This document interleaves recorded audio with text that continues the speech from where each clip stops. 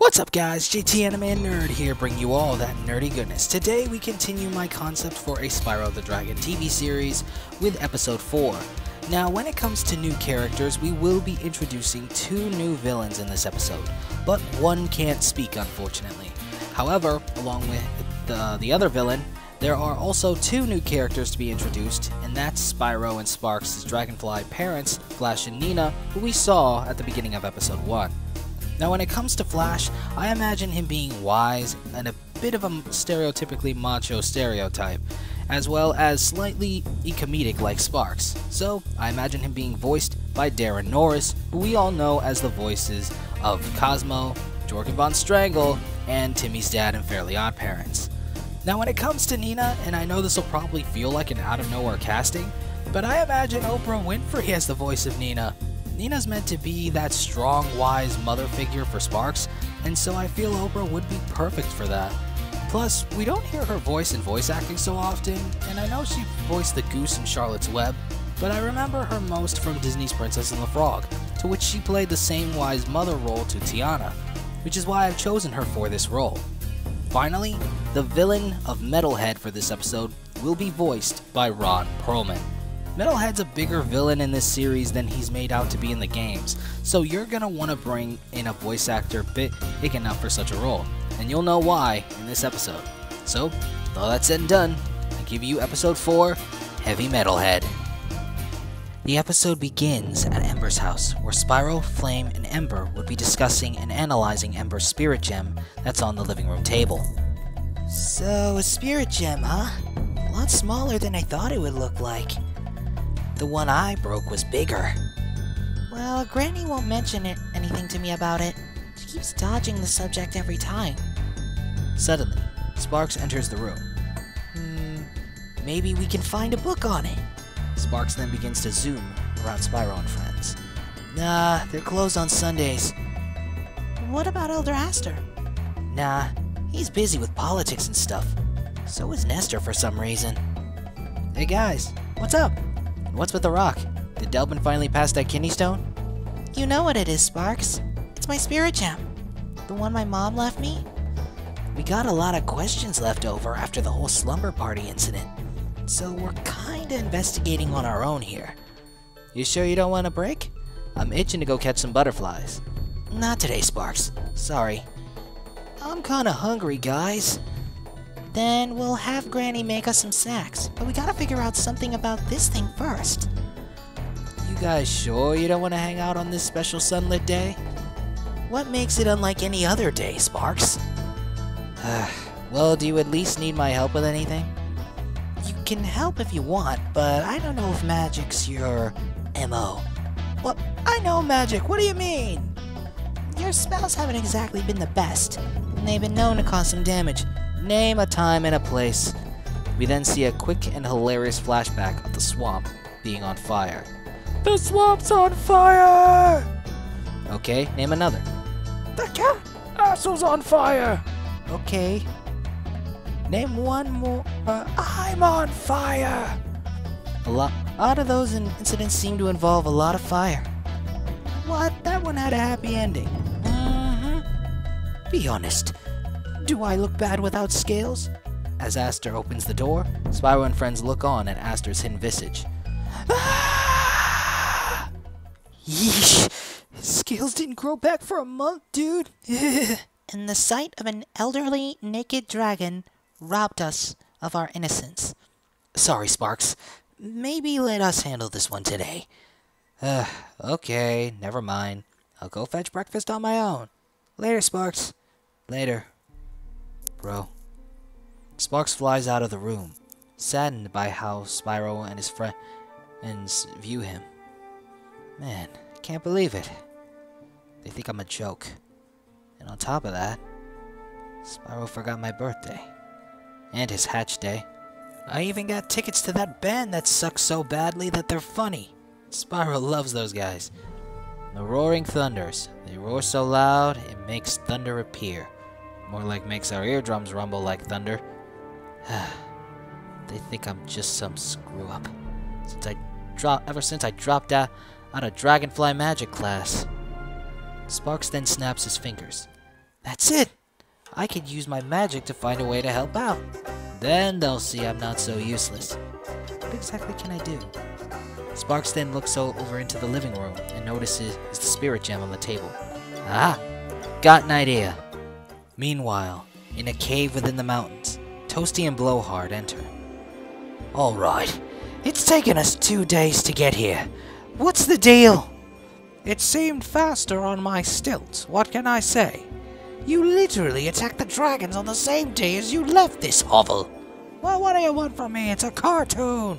Toasty then awkwardly looks in the direction of the screen. Wah wah. Toasty then continues into the, the cave. Anyway, welcome to my humble abode.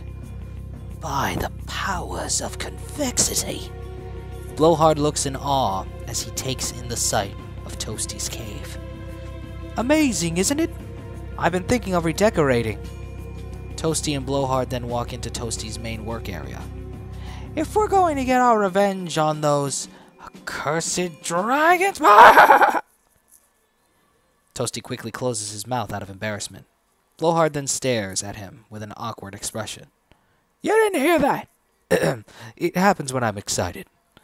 Toasty and Blowhard then approach something big under a giant tarp. Allow me to introduce Metalhead! Toasty removes the tarp to reveal a large robot under it, not yet in function. Blowhard just looks upon it in shock. I don't believe it.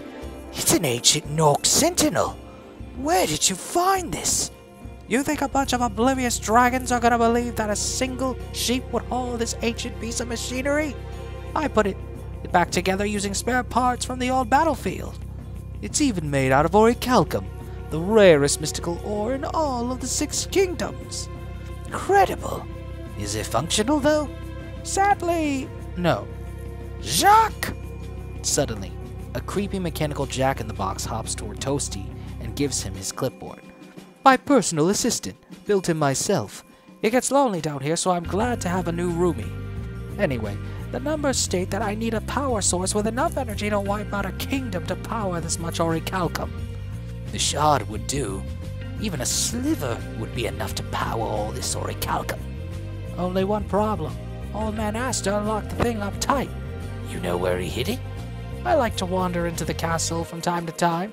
He's got it in the vault. Oh, great. How are we gonna get into the vault? Not to worry, my friend. I have an idea. Just then, Toasty begins to laugh, much to Blowhard's uncomfortable feeling. Toasty then covers his mouth in embarrassment. Again. You didn't hear that? That night, Ember is fast asleep in her room. Meanwhile, outside her window, Sparx is looking through her bedroom window, noticing her pendant on the table. Okay, so how did I get in there? Hmm, ah! Sparx then uses his magic to create a little blowtorch on his finger. He then inches closer to the glass. Ah, nope, nope, no fire. Sparx then snuffs out the blowtorch finger. Ah. it's the best spell I got. Sparx then looks to his left and notices a sl second slightly opened window. Okay, so I've got bad death perception. Sparx then sneaks into Ember's house, followed by sneaking into her room and taking her pendant. Sparx then successfully sneaks out of the house with a spirit gem in hand. Okay, now I just gotta get to work. Back to the swamp. The next day, Spyro and Flame walk up to Ember's house. Suddenly, Ember crashes out of her bedroom window, almost like a maniac. It's gone! What's gone? Your stuffed sheep? Ember then zooms over and gets in Spyro's face, her angry face looking at, at a slightly submissive Spyro who looks at Ember in hilarious fear. Watch how you talk about Sir Fluffs a lot. Purple butt. My bad. I'm talking about my pendant. What?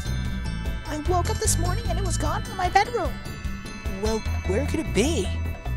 What I did find where it was was this. Ember then pulls out a bag of golden dust. Dragonfly shedding. Dragonflies can shed? How do you think puberty works for insects? There's no question to who this belongs to. Sparx. But why? I don't know. But when I find him, I'm gonna turn him blue, and not because of magic depletion. Ember then begins walking toward the direction of Artisan Castle, Spyro and Flame following behind. Meanwhile, in Artisan Castle, Aster is taking a nap in his room while Toasty and Blowhard sneak in into the cat castle through a secret doorway. Why would they build a secret doorway in here? Isn't it would make things too easy to steal? They didn't. Blowhard looks on at Toasty with an expression of curiosity, but shrugs it off for the time being. Toasty then walks up to and looks inside Aster's drawers. Why are we looking in his underwear drawer? Wait a minute. Why would he need underwear? There are some secrets better off a mystery, my friend. As Toasty shuffles through the drawer, the shuffling suddenly stops. Aha! What? You find the key? Better. Toasty then pulls out the green spirit gem shard from Aster's underwear drawer. Okay, Aster's just sick. Back in the Dragonfly village in the swamp, Sparx is in his room going through all of his parents' books of spells in an attempt to try and tap into the spirit gem's knowledge. Suddenly, a hammer falls down on the spirit gem, ironically breaking the hammer instead upon contact. Well, that didn't work either. Sparx then throws away the broken hammer. There's gotta be a way to get into this thing. Sparx, honey? Duh, Sparx! As Sparx attempts to hide the spirit gem, he stops for a moment, followed by looking into the direction of the screen. And for all those boys and girls watching, it's only okay if I say it. Don't be intolerant, kids. Sparx then swiftly hides the pendant under his beanbag chair. Why do I even have this? I could sit on air. Just then, Sparx' mother Nina enters his room. Sparx, you've been cooped up in your room all night. Your father and I are getting worried. Nina then looks around to notice the mess of spellbooks on the floor. Have you been spending all night training again? Nah, just a little studying. The last few times you said it was just a little studying, you brought a wasp girl into your room. She looked like a dragonfly, Ma. I got catflied. I'm happy to see you working so hard, but there's a difference between training and overdoing it. Now, what's wrong? You and your brother get into it again? Every time I'm always looked at Spyro's sidekick. The only useful time I had was when I protected it from Gnasty Gnorc. And you were able to create a barrier all on your own? Do you know how long it took your father just to manifest a construct? That's not the point, Ma. I don't just want to be remembered as moral support. That's why I gotta help Spyro with this problem magically. However I can. I understand. But you should always remember that there's nothing wrong with relying on others. It is when you can't do anything. You saved your brother. That's something. I guess. Nina then begins tidying up Sparx' room and putting the books back on the shelves. You know, there's a story my mother once told me.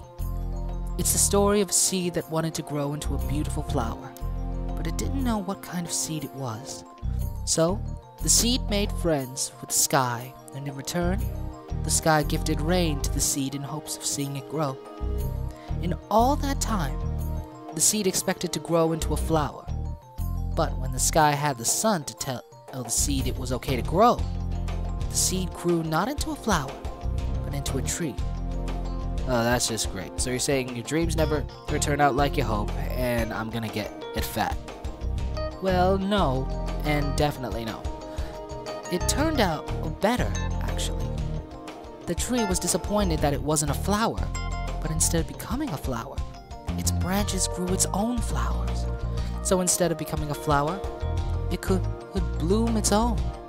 And the tree raised the flowers from birth, becoming a father in the end. Wait, wait, what's going on? Are you pregnant? Because I don't think I can handle another brother or sister. no, Sparx. The moral of the story is that the seed couldn't do anything without the help of the sky. There may be some things you can do, there are some things you can't do alone. Your father taught me that much. Suddenly, a huge crash is heard out from outside. Duh! Who forgot to close the spider gate? We have it closed for a reason! Speaking of which, just remember what I said, sweetheart. It'll all work out. Oh, and happy birthday, baby. Ah, Ma. After Nina takes her leave, Sparx pulls out, out the spirit gem. Alright, there's gotta be a way into this thing. Sparx then flies up to his bookshelf and then finds one spell book in particular, one with an odd symbol on it. Cosmic Book of Spirit and Souls. Did my uncle start drinking out of a toilet after reading this? Sparx thinks for a moment. Nah, I'm sure it's okay. Sparx flies back down to the floor and then opens the book to study it. Back at Toasty's laboratory, the trio of villains gets ready to begin the experiment. So we put the shard in it and it turns on? No, you ignoramus! Then we wouldn't be able to study the shard. Toasty then approaches Blowhard while checking his clipboard of data. Ignoramus is a little hurtful. What was that? Nothing, nothing. I'm going to extract the shard's energy to fuel the Sentinel using the lab's power generator. How do you think I have electricity? So why am I even here? You could have gotten the shard yourself this whole time. True. But it takes more than science to crack orichalcum. Especially in machines. It needs a certain mystical touch. Orichalcum may be magic resistant, but its mystical properties can't be tapped without someone being able to control such energies. And I appear to have a suitable sorcerer right here. I'm more prominent to wind magic. That'll do fine. Are you up for it? Blowhard looks up at the robot, contemplating the idea. Blowhard then begins to cackle. Let's destroy some dragons. Back in his room, Sparx analyzes a page of the book that teaches astral projection. Well, Ember did say her ancestors were literally in this rock. I bet the family reunions are just as fun. Maybe they can give me answers. Okay, here we go. As Sparx waves his hands, they begin to glow a golden aura. The shard's hooked up! Ready? Blowhard is shown grabbing a hold of two diodes connected to the power generator. Exquisitely. Sparx then places his hands on the spirit gem. Death to all dragons! And with luck, some delicious ones too. Toasty then presses a red button on his console, transferring the green spirit gem's energy to Metalhead. Meanwhile, Blowhard casts a lightning spell on the diodes, transferring some of his mystical energy to Metalhead as well. Back in his room, Sparx comes into contact with the yellow with the gem, the golden aura from Sparx' hands enters it, creating a wide yellow flash of light that swiftly engulfs the room. Back at the lab, the energy is adding to Metalhead, as shown in the energy meter. It's working! Suddenly, the energy meter goes over the limit and is about to overload. Oh, fluff. In a flash, the energy within Metalhead explodes, creating smoke that swiftly flies out of the cave. Back in Sparx' room, as the light dims, seemingly nothing happens. Sparx then opens his eyes to look around for a bit. He then begins to feel a bit frustrated. Well, that's a dud. I'm letting my uncle know I want my money back. Ugh. Suddenly, Sparx' eyes begin to illuminate a golden aura from his pupils. Spirit gem then shows him visions, one of a scarred battlefield in a land that he doesn't recognize.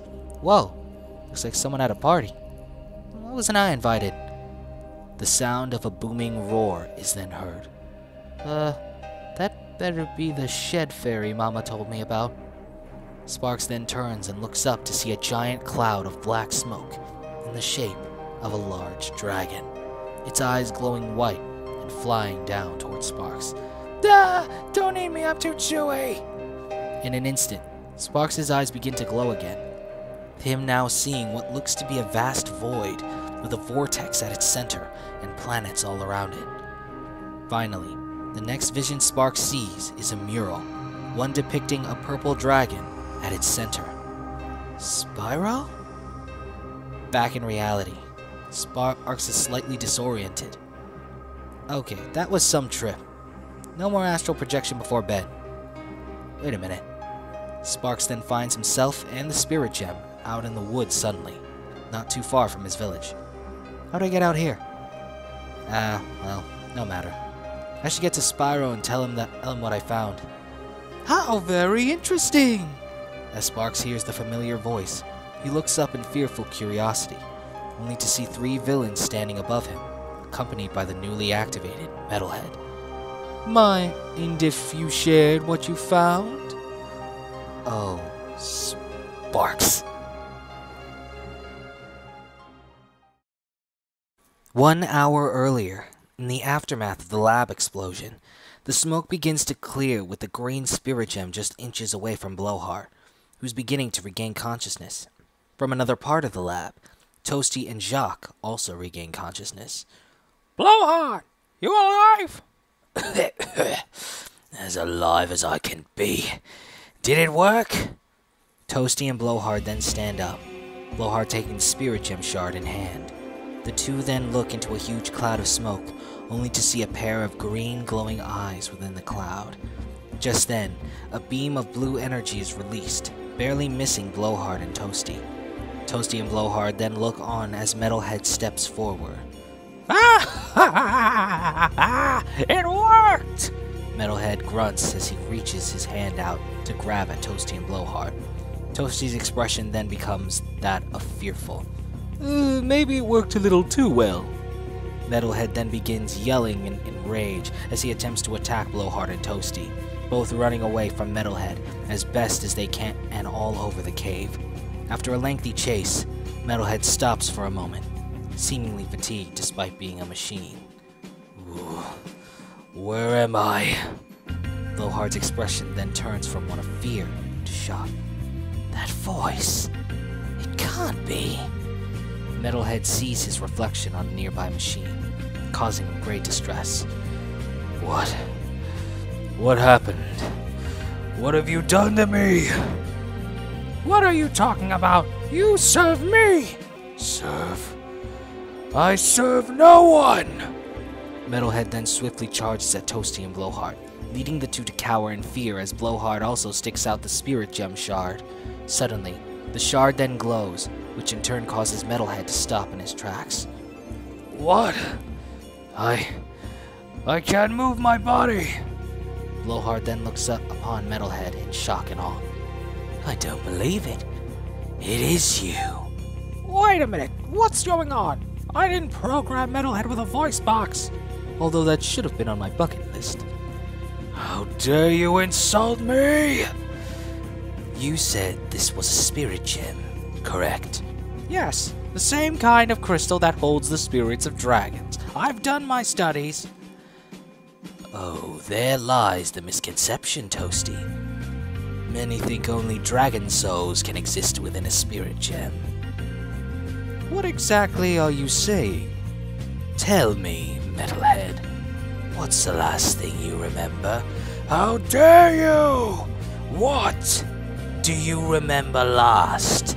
The shard then glows, signifying Blowhard forcefully bending Metalhead to his will.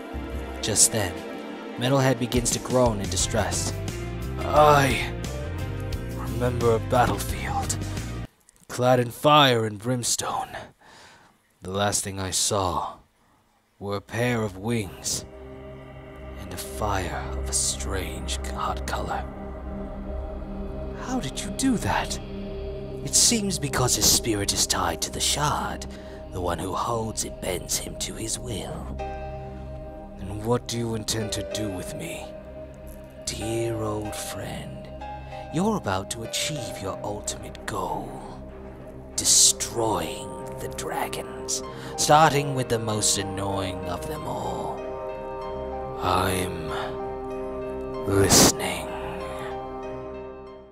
Back in the present, in the Artisan Kingdom, Spyro and friends look around for Sparx. Spyro and friends then approach the nearest dragon, who just so happens to be painting a portrait of Artisan Castle. Let's ask around. Hey, Delbin, have you seen Sparx? Actually, yeah. We then see a flashback of Delbin noticing Sparx coming out of a library. He kept coming back and forth from the library. Seemed like he was looking for something, but couldn't find what he was looking for. That was the last I saw of him. From what I remember, he headed toward the direction of the border swamp. That's where you both live, isn't it? Yeah. Thanks, Delbin. Anytime, Spyro. As Delbin continues painting, Spyro and friends then take their leave toward Sparx' direction. Oh, great. Now we have to wander through the swamp. It's so mucky. Then it would and it would be called a swamp. Spyro then shows a slightly saddened expression. Thinking about him, Spyro? I just can't believe Sparx would just take the gem and not tell us. What was he thinking? well, we gotta admit, we were kinda rude to him yesterday. Little guy did just want to help. Yeah, but It's Sparx! We know.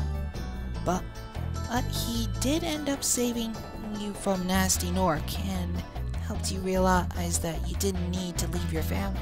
Need to find your family. Yeah, okay. You got me there. But what's your guys' excuse? we can be jerks. Mm-hmm. Join the club. Come on, we'll go ask Mom and Dad where he is. As Spyro and friends head in the direction of the swamp, Metalhead and company are on a cliff top overlooking the Artisan Kingdom. Looks like the plan is working quite perfectly. Ta, I'm to get to work. Just then, Metalhead looks down, glaring at Spyro and friends, his thoughts in a somewhat familiar place. Hmm. Moments later, Spyro and friends arrive at Dragonfly Village in the border swamp, only to find it almost ransacked, much to Spyro's distress. Oh no! Spyro zooms into the village in slight distress. Mom! Dad! Spyro! Spyro then runs up to Nina, who's carrying her husband Flash over her shoulder. What happened here? Is everyone okay? Oh, of course, don't worry. Your father here had a little incident with spiders. People were so afraid that they're calling it the Great Spider War. More like turf tussle. Spiderberg. Oh, happy Hatch Day, by the way, Spyro. Yesterday, anyway. Hatch Day? Oh no. What's up? If yesterday was my hatch day, then that means it was Sparx' birthday too. And I forgot it. How'd you forget? I hardly noticed my hatch day because it reminded me of how alone I was.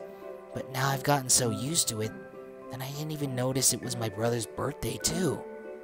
Mom, have you seen Sparx? He kinda took something of Ember's and we're trying to find him. Looks like I also owe him an apology too. Ah, so that's what he was hiding under his beanbag chair. Thank goodness. I thought it was another wasp girl. Oh boy, that was an adventure.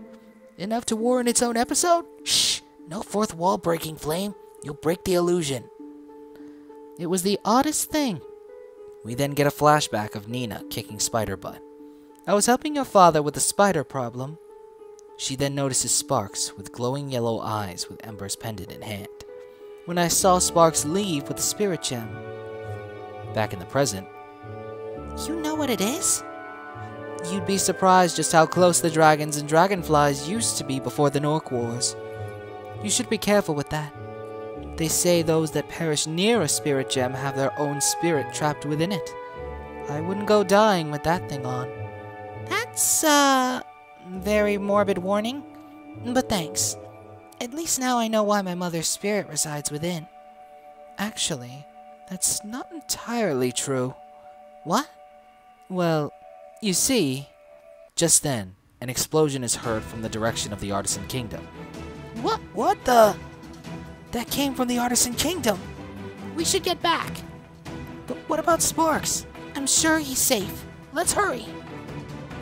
Back in the Artisan Kingdom, Spyro and friends come back to see the dragons of Artisan Kingdom once again turned into crystal statues. That spell again? We meet again, little dragons, and this time you won't escape. Spyro and friends look on at Toasty and company, shocked at the array of villains before them. Oh no, not Sheep Creep again. Don't call me Sheep Creep. It's Toasty. Whatever. Sheep Creep. Don't! It doesn't matter. Just then, a puff of smoke appears, with Blowhard emerging from it with a shard in hand. Your doom is plain at hand. Blowhard? Ember then notices what Blowhard has in his hand. He's got the spirit gem shard, the one Gnasty had. Blowhard then raises the shard. Finish him, Metalhead. Just then, Metalhead walks up. Spyro and friends then look up in shock at what's in front of them. They got a giant robot, dude! Guys! Guys! What the? Sparx? Metalhead's chest cavity then opens, revealing a captive Sparx behind bars. Sparx! Get me out of here! It smells like gasoline and farts. Your farts to be exact. Hey! Have you smelled our room lately? Well, well, I had to see it to believe it. Never knew a purple dragon even existed. Metalhead then takes notice of Ember. A pink dragon as well. You don't seem to be like any regular robot. Vigilant! Allow me to demonstrate your point! Metalhead then shoots beams of magic at Spyro and friends, leading them to dodge and try and fight as best as they can. The three shoot flames at Metalhead, only for the flames to have no effect. What? That metal! It's! Ori, what am? Don't you even pay attention in class? The strongest metal in the entire realm! Against it, your flames are nothing! Realm? Char arch dive, quickly! The three then fly upwards and then charge downward with their horns, and as they do, Metalhead counters with a simple backhanded punch, knocking the trio down. Guys!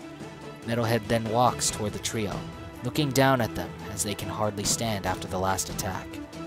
Well, well, well. So my eyes don't deceive me.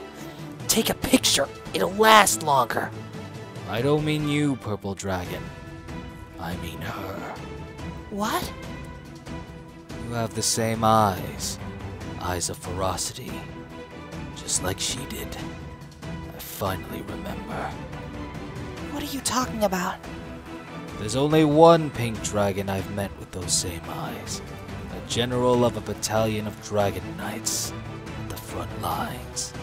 Ember then realizes who he's talking about. You really aren't some robot, aren't you? Just who is he then? I believe you all know him. The former commander of the Gnorc Empire, Gnarly Gnorc. No way! You? That's impossible. Unless. He died near one. What? Like your mom said, if anyone perishes near a spirit gem, their spirit becomes trapped within as well. Spirit? That's it! Unexpectedly, Sparx flies deeper into Metalhead's body. Yes, but that's not all. The only reason I perished was because of damage sustained from the most powerful dragon I had ever faced. One that had the very same necklace that we retrieved. The one whose life I took with my own hands. Ember's eyes then widen, beginning to fill with rage. My mother. You? Destroyed her. The greatest accomplishment so far. And soon, the rest of you dragons will face the same fate. In her rage, Ember's eyes begin to glow pink, leading her to breathe flames of pink, the ones referred to as the Soul Flame. Meanwhile, inside of Metalhead, Sparx notices the pink flames behind him as he bl is blocked by a wall of metal in front of him. Whoa! Okay, okay. What do I do? Thing. Come on, Sparx. Can't just leave him like. Wait a minute. Sparx then uses his blowtorch finger spell. Fire! Sparx then creates a hole in the wall of metal, going deeper inside of Metalhead's body. Back outside, Ember has expended her flames, unable to breathe any more out, leaving Metalhead undamaged. The same flames that damaged my old body. Now it can't even leave a burn mark. I'm going to enjoy getting my vengeance out of turning her daughter into a prized trophy. Within Metalhead's body, Sparx finds the power core at the center of it. I swore I wouldn't do this before bedtime, but rules are meant to be broken. Sparx then begins to wave his hands, radiating yellow light from them. Hang on, guys. Sidekick's coming. Sparx then charges at the core. Outside, Metalhead aims his open hand at Spyro and friends, ready to turn them to crystal. Glory to the Gnorc Empire! Suddenly, Metalhead uses his hand to punch himself in the face, much to Blowhard, Toasty, and Jacques' shock. What the? How did. Knock, knock! Metalhead's right eye then turns from green to golden yellow. How? How are you in my head? I'm not on your head, big boy. I'm in your soul. Sparx' control over Metalhead's body then leads me to Metalhead continuing to punch himself. Stop hitting yourself! Stop hitting yourself! After the last punch, Metalhead is knocked down. Dude, why do you keep hitting yourself?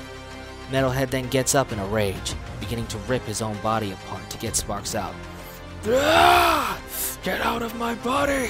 I'll rip your wings off and snap your insect body like a twig! What are you doing? Stop! I command you! Blowhard uses the shard to control Metalhead. However, it doesn't work for some reason. Why isn't it working?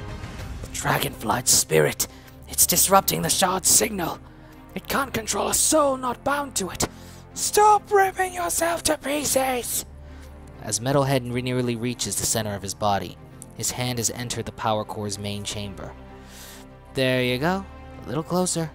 Getting warmer. Peekaboo! Metalhead, in all his rage, accidentally yanks out his power core in a blind rage, leading him to fall while down, unable to move. No! Can nothing go right? Ugh, what's happening? I can't move! Sparx, now back in his body, exits Metalhead. Its body. Worst factory tour ever. But hey, at least the factory settings are on again. Just then, Blowhard uses the shard to lift Metalhead in the air. You may have won this time, dragons, but this is only the beginning. Yeah, we still got the other spirit gem. With a snap, Blowhard uses magic to escape. Not a trace of them seen. Sparx then approaches his friends. Guys, you okay? The trio gets up, recovered from Metalhead's attack. Yeah, and Sparx, that was amazing. How'd you do that, dude? Studying a whole bunch of books has its perks, especially when it's spell books. In fact, with a snap of his fingers, Sparx makes Ember's pendant reappear. My pendant! But how did you. Sparx puts the pendant back around Ember's neck. Snagged it when in my cage past it. Spyro then approaches Sparx with a saddened expression. Sparx, I'm sorry. We all are. What we said wasn't cool. And on top of that, I even forgot your birthday. I'm sorry I've been treating you like a plus one when you're supposed to be my equal. My favorite brother. I'm your only brother, pal. And eh, I've gotten over it. A bit. I just wish there was a way I could make it up to you. Oh, there is. Back at Ember's house, Spyro and friends enter with all of them having expressions of hilarious disdain. Those roaring thunders were worse than I remember.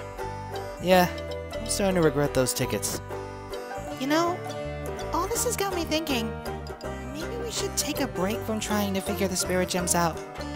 I think I figured some things out when I, I was studying it, but yeah, it'll be nice to return to our episodic scheduled programming. At least after episode 5, that is. Ain't that right, boys and girls? Sparx then winks at the screen.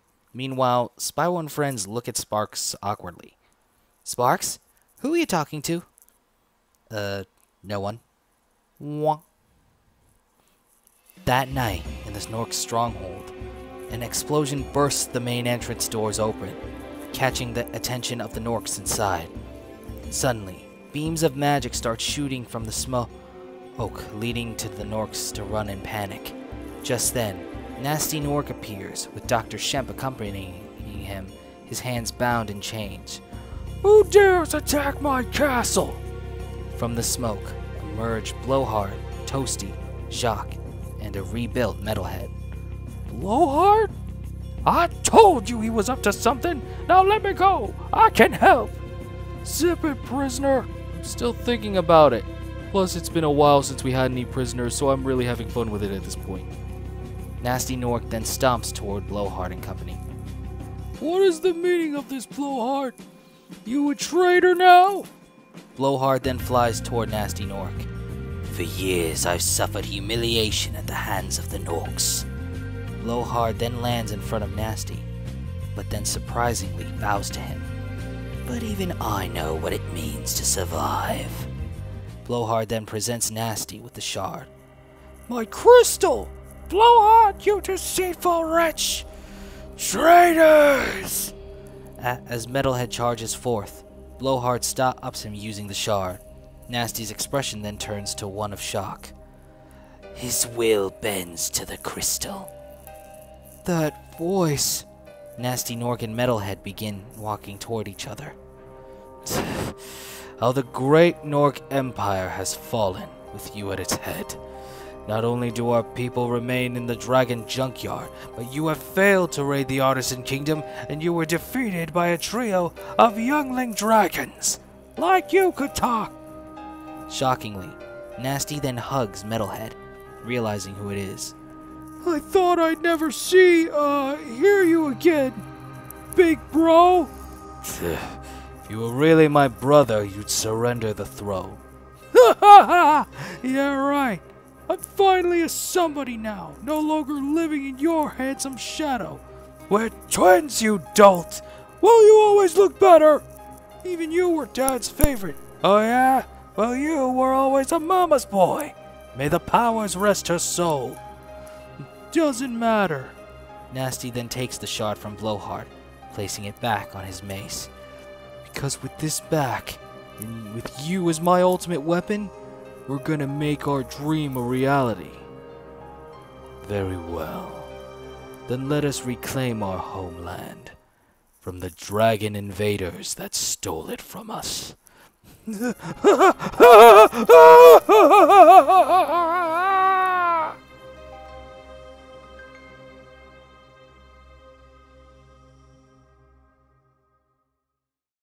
I hope you guys enjoyed this video. If you did, be sure to check out our merch store, buy me a coffee page, and Amazon affiliate link linked in the description and pinned comment below, so you can help us expand the channel and give you guys higher quality content. Also, if you want to check out our original content, be sure to check out the playlists linked in the description below. With all that said and done, I'm JT Anime, and I'll check you guys later.